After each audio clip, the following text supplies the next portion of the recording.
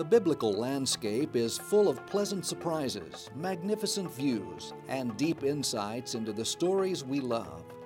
This land, once again blossoming and full of life, is more than a beautiful tourist destination. It has become a powerful statement from the God of the Bible, proclaiming His faithfulness and truth in the chaos of our time. As you discover Israel and the Jewish people, you discover a story full of miracles, tradition, and suffering. Just as much as the land itself, this nation carries in their hearts and minds our link to the places, stories, and ideas we have read and believed.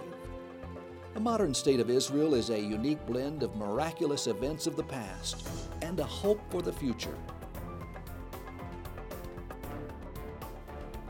A journey to discover and embrace this truth begins like any other journey, by taking small steps in this direction. On this journey, we will follow in the footsteps of Jesus, the one who lived, performed miracles, and taught in this land and to these people. Following him, we will learn to live and love the way he and his disciples did, overcoming this dark world and finding the fullness of blessing we were created to experience. But where do we begin? In order to connect, it is important to get to know the land and real people inside Israel that will guide us in this journey of love. Practicing acts of love, we can connect to this nation and this land, becoming grafted into the olive tree of God.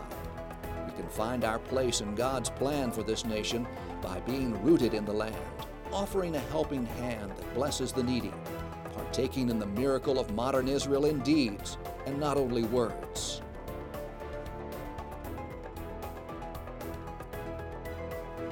loveisrael.com, the place where you will discover your connection to Israel.